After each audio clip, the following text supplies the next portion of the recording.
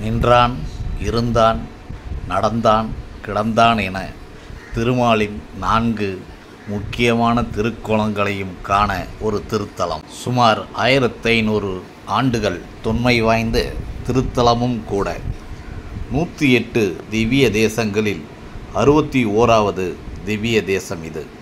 பூதத்தாழ்வாரும் திருமங்கையாழ்வாரும் மங்களாசாசனம் நான்கு திவ்ய தேசங்களை தரிசித்த பலனை ஒரே இடத்தில் தரிசித்து பெற வேண்டுமானால் நீங்கள் இந்த தலத்திற்குத்தான் வர வேண்டும்.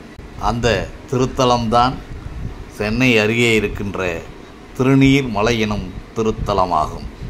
இங்கே நின்றான் என்கிற கோலத்தில் நீர்வண்ணப் பெருமாள் நின்றிருந்து காட்சி தருகிறார். இருந்தான் என்கிற கோலத்தில் பால நரசிம்மர் அமர்ந்த கோலத்தில் காட்சி தருகிறார். கிடந்தான் என்கிற கோலத்தில் அரங்கநாதர் சயன கோலத்தில் காட்சி தருகிறார். நடந்தான் என்கிற கோலத்தில் திரு விக்ரமர் இங்கே உலகளந்த பெருமாளாக காட்சியளிக்கிறார். இத்தகு சிறப்பு வாய்ந்த நான்கு மூர்த்திகளையும் ஒருங்கே காண கிடைக்கும் திருத்தலமாக விளங்குவதுதான் திருநீர்மலை பூலோக வைகுண்டம் என்று போற்றப்படும் அரங்கநாதரை தரிசித்துவிட்டு பிருகு முனிவரும் மார்க்கண்டேய முனிவரும் இந்த மலை மீது தவம் செய்ததாக புராணம். அவர்கள் ஸ்ரீரங்கத்திலே தரிசித்த அந்த ரங்கநாத பெருமாளை மீண்டும் தரிசிக்க ஏங்கிய போது அவர்களுக்காக போக சயனத்தில் அரங்கநாதர் இந்த திருநீர் மலை மீதே காட்சி தந்து அருளினார். நீர் சூழ்ந்த மலை என்பதால் இது திருநீர் மலை என்று திருநாமம் பெற்று விளங்குகிறது. பழங்காலத்தில் இந்த பகுதியை காண்டவ வனம் தோயாத்ரி சேத்திரம் என பல பெயர்களில் அழைத்திருக்கிறார்கள். ரங்கநாத சுவாமி சயனகோலத்தில் தெற்கு முகம் நோக்கி இந்த கோவிலில் சேவை சாதிக்கிறார். அவர் அருகே ஸ்ரீதேவியும் பூதேவியும் கூட விற்று இருக்கின்றனர் இவர்களை சோவிக்க விரும்பிய பிருகு முனிவருக்கும் மார்க்கண்டேய முனிவருக்கும் கூட ஆலய முகப்பில் சிலைகள் இருக்கின்றன.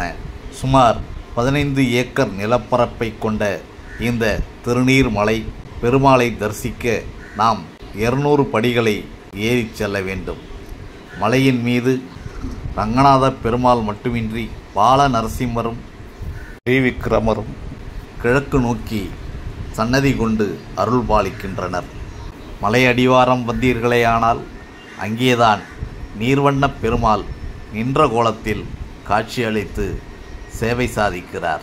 எல்லா கோயில்களையும் போல ராஜகோபுரம் பலிபீடம் கொடிமரம் எல்லாம் ஒரு நேர்கோட்டில் இல்லாமல் இந்த ஆலயத்தில் மட்டும் ராஜகோபுரத்தை தாண்டி சற்று விலகி நீர்வண்ணப் பெருமாள் கோயில் எதிரே பலிபீடமும் கொடிமரமும் அமைந்திருக்கிறது. ராஜகோபுரத்திற்கு எதிரே கோயில் கொண்டிருப்பவர் ஸ்ரீ ராமபிரானாவார் ராமாயணத்தை அருளிச் செய்த வால்மீகி முனிவர் இந்த பகுதிக்கு வந்தபோது ஸ்ரீ ராமபிரானின் திருமண கோலத்தை தரிசிக்க ஆவல் கொண்டார். அவரது விருப்பத்தை நிறைவேற்றும் பொருட்டு ராமபிரான் சீதா பிராட்டி இலக்குவன் பரதன் சத்துருக்கன் விஸ்வக்சேனர் சுக்ரீவன் கருடன் அனுமான் முதலியோர்களோடு திருமண கோலத்தில் எழுந்தருளி காட்சி தந்திருக்கிறார். அந்த கோலத்தை இன்றும் நாம் தரிசிக்கலாம். மலையடிவாரத்தில் ராமபிரானுக்கு அமைந்திருக்கிற தனி சன்னதிக்கு எதிரேதான் ராஜகோபுரம் அமைந்திருக்கிறது. ஆழ்வார்கள் ஒரு சில தலங்களில் மட்டுமே தாயாரையும் சேர்த்து பாடியுள்ளார்கள். அப்படி பாடப்பட்ட திருத்தலங்களில் இந்த திருநீர்மலையும் ஒன்று. தாயாராக அணிமாமலர் மங்கை தாயார் விற்றிருப்பது ஒரு சிறப்பாகும். திருமங்கை ஆழ்வார் தனது பெரிய திருவாய்மொழியில் அன்றையர் குலக்கொடி அனிமாமலர் மங்கையோடு அன்பலாவி அவுணர்க்கு எந்தானும் இரக்கமிலாதானும் உறைவிடமாவது இரும் பொழில் சூழ் நன்றாய புனல் நாரையூர் திருவாலி குடந்தை தடந்திகழ் கோவல் நகர் நின்றான் இருந்தான் கிடந்தான் நடந்தார் கிடம் மாமலையாவது திருநீர் மலையே என்று போற்றி பாடுகிறார். இப்படி பல்வேறு சிறப்புகளை கொண்டுள்ளது இந்த திருநீர் மலை. மணிகர்ணிகா தடாகம் ஷீத்ர புஷ்கரணி காருண்ய புஷ்கரணி சித்த புஷ்கரணி சொர்ண புஷ்கரணி என நான்கு புண்ணிய தீர்த்தங்கள் இத்திருக்கோயிலில் அமைந்துள்ளன. ஒரு முறையாவது மலையேறி சென்று போகசயன ரங்கநாதரையும் பால நரசிம்மரையும் திருவிக்கிரமரையும் தரிசித்துவிட்டு கீழே அடிவாரத்தில் இருக்கக்கூடிய நீர்வண்ணப் பெருமாளையும் தரிசித்து வந்தால் வாழ்வெல்லாம் புண்ணியம் கிடைக்கும். வாழ்க்கை பிரச்சனையின்றி அமைதியாக செல்ல வேண்டும் என்பதுதான் எல்லோருக்கும் விருப்பம். அந்த விருப்பத்தை நிறைவேற்றுவதில் இந்த பெருமாள் துணை நிற்பார் ஐயமில்லை.